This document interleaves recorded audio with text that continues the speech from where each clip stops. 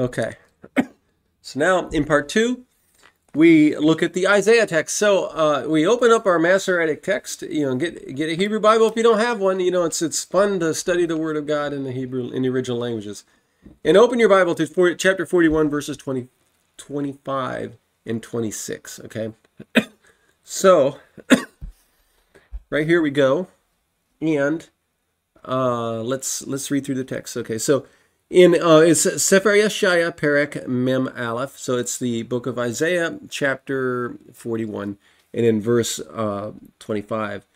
And it states, it says, Ha'iroti mitzafon v'yat uh, mimizrach shemesh yikra vishmi v'yavo segani seganim kemo homer uchmo yotzer yirmas tit.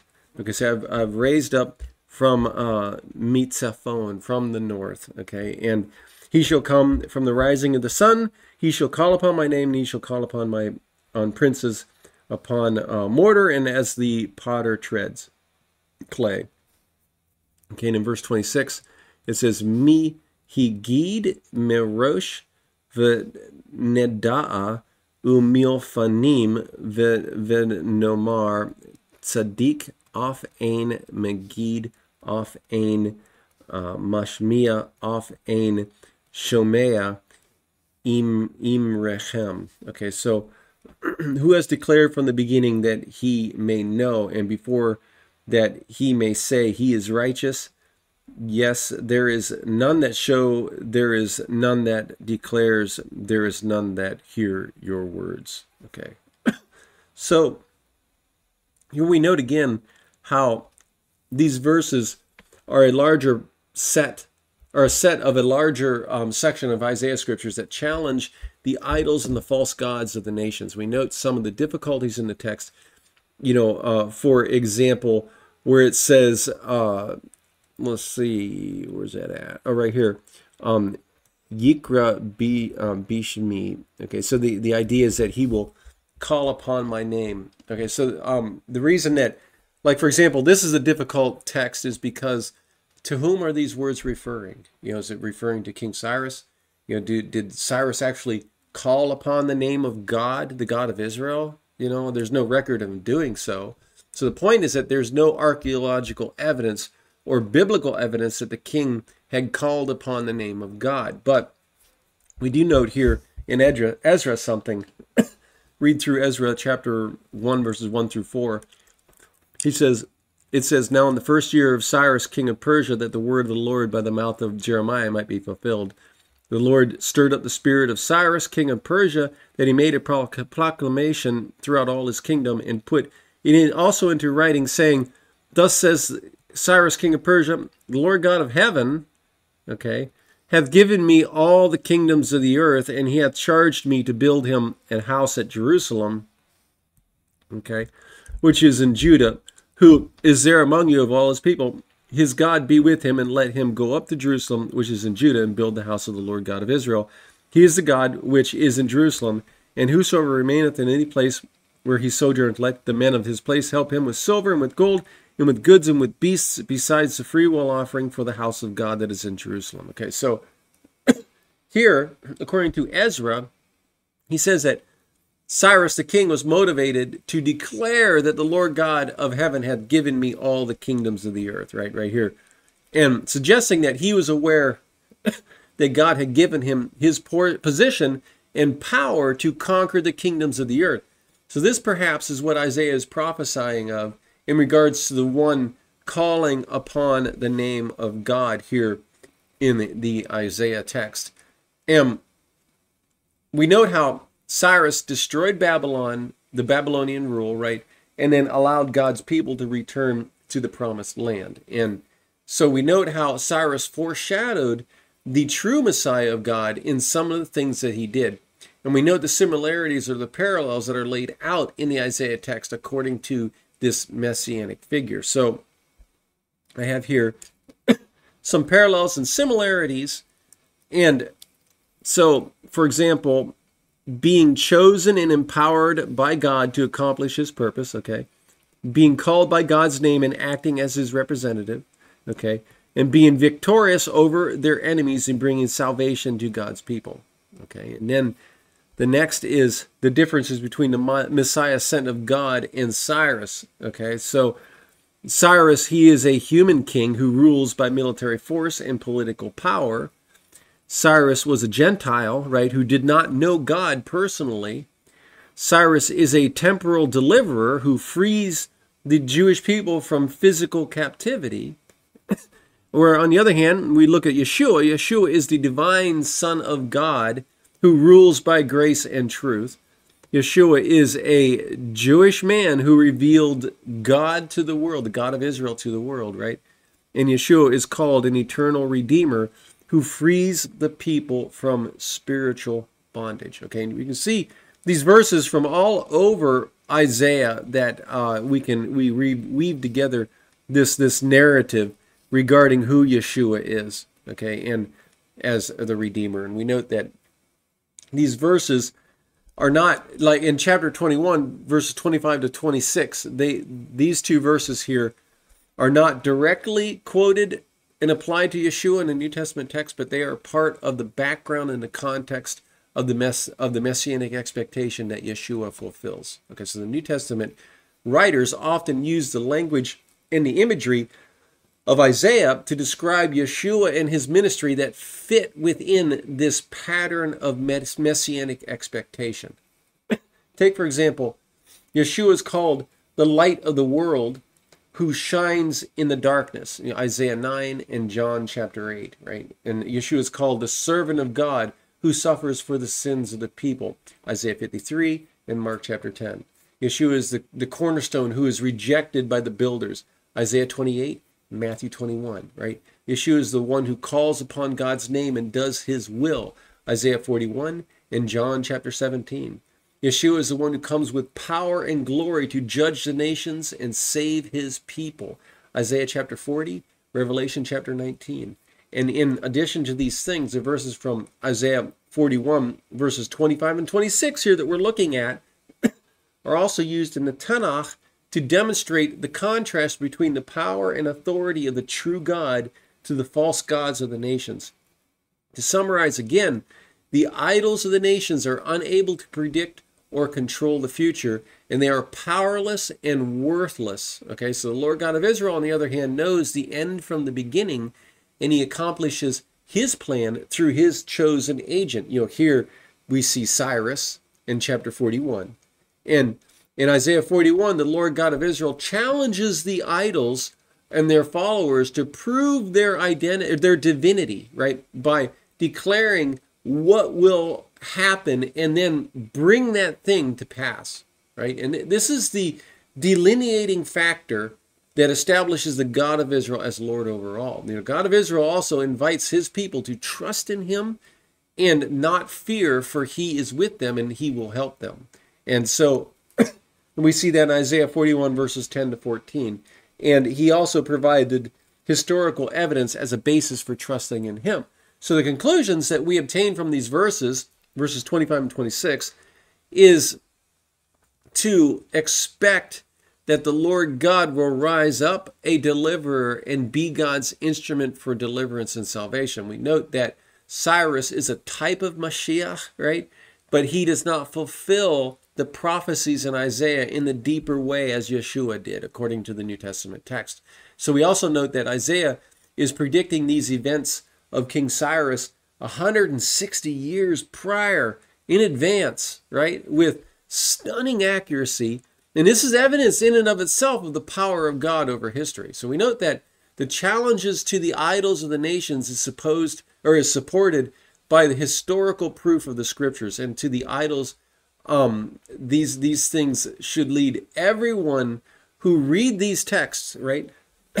who read these texts that we find in the scriptures and that who study the archaeological evidence to have faith in the Almighty God of Israel. And so history bears record of the power of God.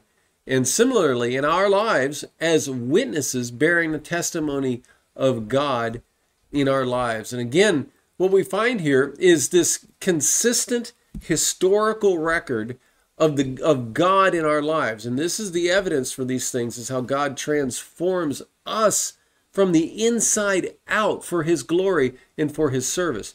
Our lives parallel these things that we are reading here in the scriptures. If we say we have faith and our lives don't parallel these things, then we should ask serious questions whether we truly believe in the God of Israel and his Messiah Yeshua. You know, faith involves being faithful and which is the earmark of our faith you know when we actually live our lives for the glory of god according to his word right? So again this is how god bears testimony of his great power in and through the lives of his people.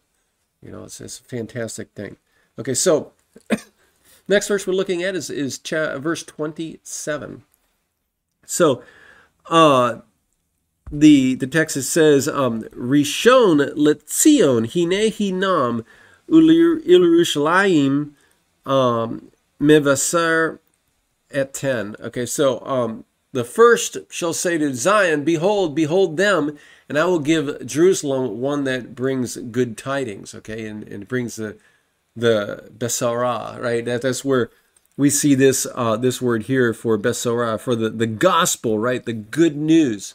And so here in Isaiah 41, verse 27, in the Hebrew Bible, the word um, mevas, mevaser, okay, is a participle singular absolute from the root word basar, meaning news or heralder of good tidings.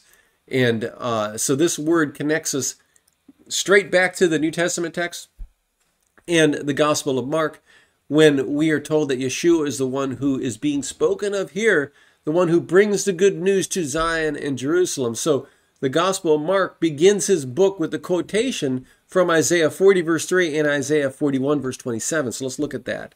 And it says here, we'll look at three scriptures here. And so, uh, in Mark 1, verses 1 through 3, it says, The beginning of the gospel of Jesus Christ, the Son of God, as it is written in the prophets Behold, I send my messenger before thy face, which shall prepare thy way before thee.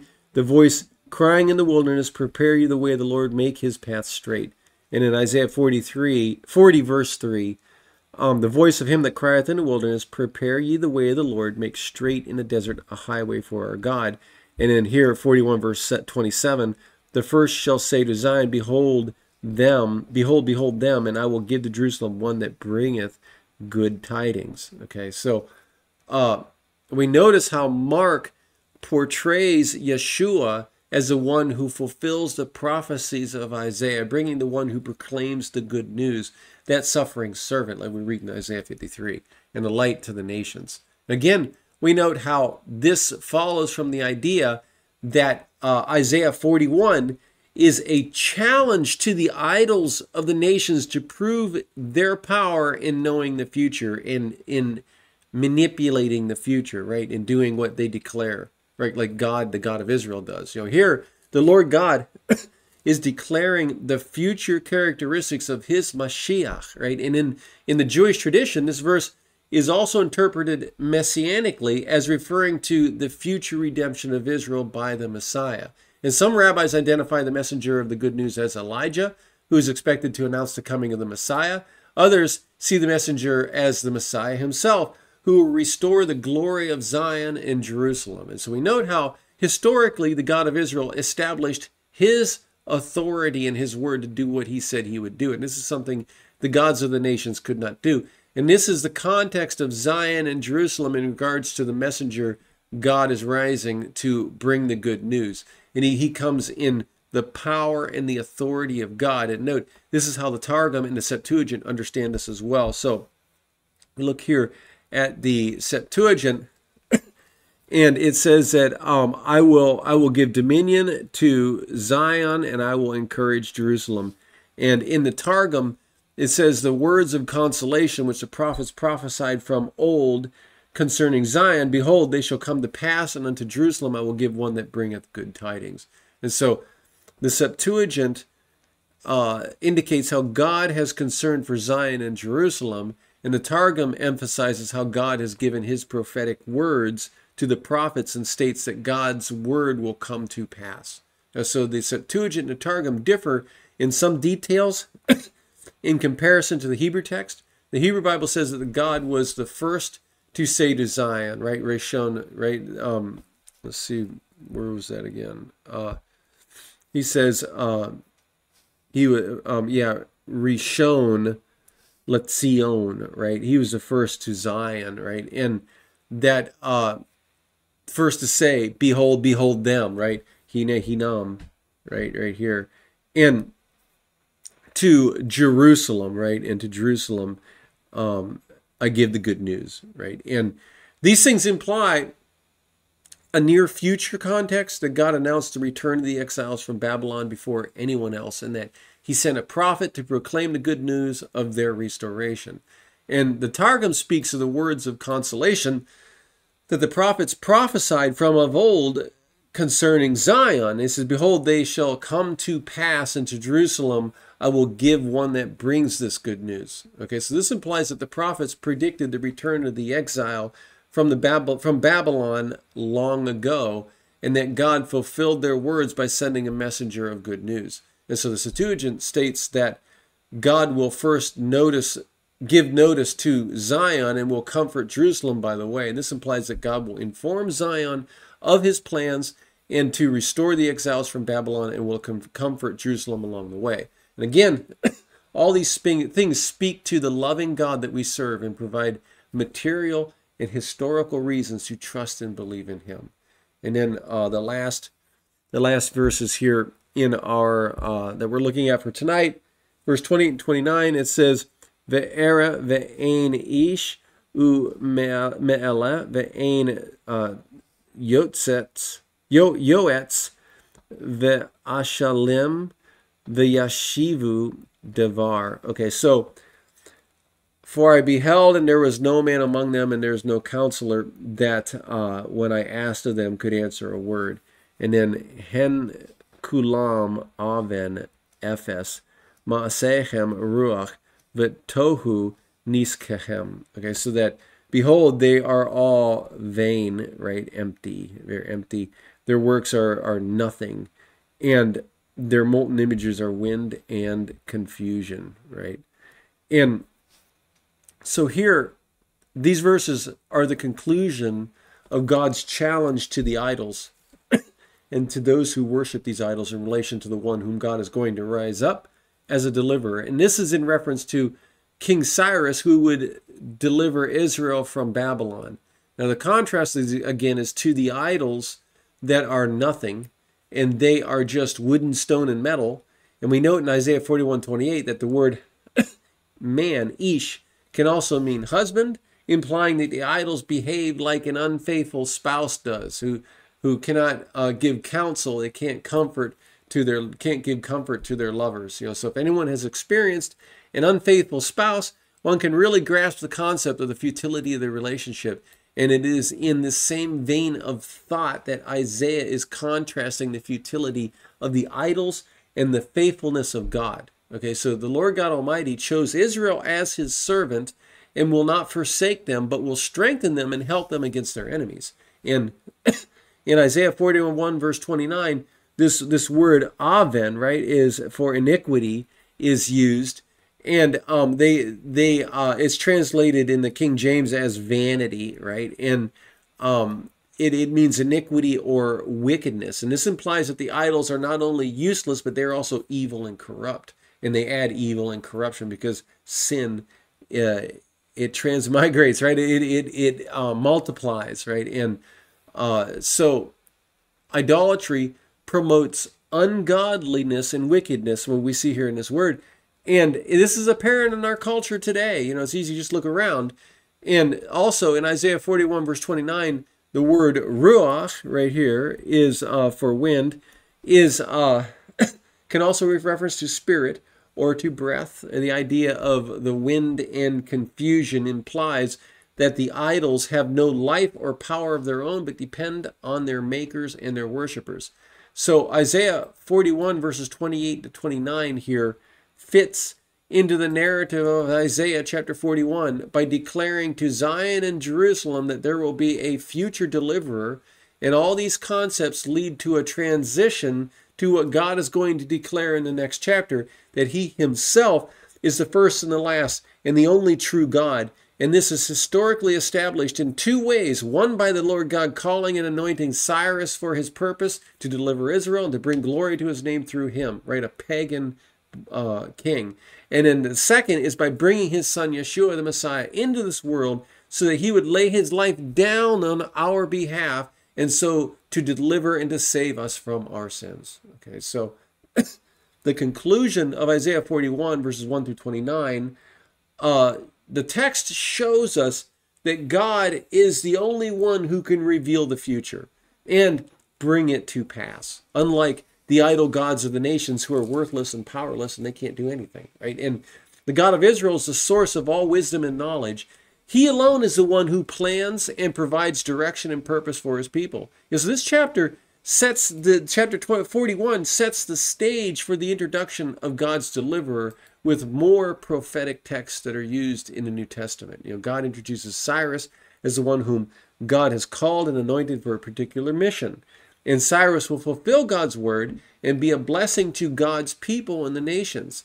And Isaiah 41 contrasts the futility of the idol worship with the faithfulness of God who has chosen Israel as his servant and will not forsake them, but will strengthen them and help them against their enemies. And we're told the Lord God Almighty will renew their strength and enable them to soar like eagles. Like we remember when we read in Isaiah 40, verse 31, Hashem will also raise up another servant who will be his witness and a light unto the nations, as we read in Isaiah 42.